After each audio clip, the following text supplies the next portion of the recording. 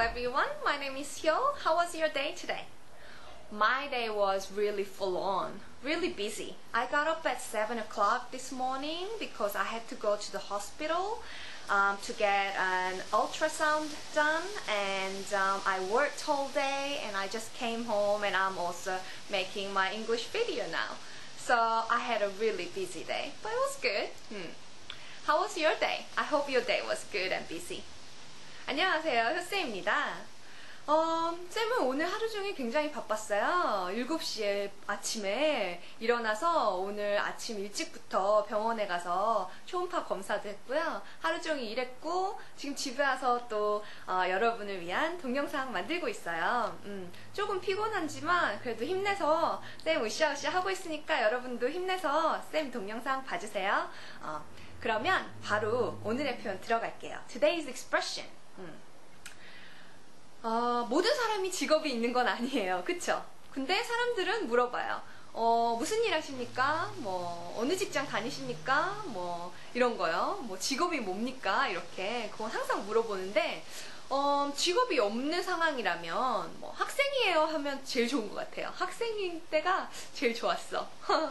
어쨌든, 직업이 뭐, 없을 수도 있고, 아예 학생이구나, 뭐, 아니면, 어, 이 직장을 그만두고 다음 직장으로 옮기는데 그 사이에 조금 공간이 있어서 시간이 좀 있어서 지금 쉬고 있는 걸 수도 있고 아예 그냥 생 백수일 수도 있어요. 그럴 경우에 어 그냥 생 백수라고 말하기는 좀 어 막 예를 들어서 I am unemployed 이런 식으로 말하면 상대방이 괜히 물어봤나? 음, 이런 거 있잖아요. 좀 민망한 대답인 것 같고 그것보다 조금 더 나은 표현인데 그래도 어쨌든 직업이 없다는 걸 표현하는 어, 좋은 문장이 있어서 여러분한테 소개시켜주고 싶어요.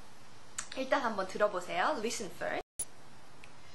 I am in between jobs. Listen one more time. I am in between jobs. I am. 나는 in between. 뭐뭐와 뭐뭐의 사이에 있습니다. 뭐 사이에? jobs. 이 job과 이 job 사이에 있어요. 그래서 한마디로 지금은 일을 하고 있지 않습니다. 라는 표현인데요. 이게 그냥 직업이 없는 생 백수입니다. 라고 표현될 수도 있고요. 그런 의미일 수도 있고요. 또 하나는 전 직장과 그 다음 직장, 다음 직장이 이미 정해졌는데 이게 뭐 다음 달에 시작한다거나 다음 주에 시작해서 그 사이에 공간이 어, 시간이 좀 비어서 좀 쉬고 있습니다라는 표현일 수도 있어요.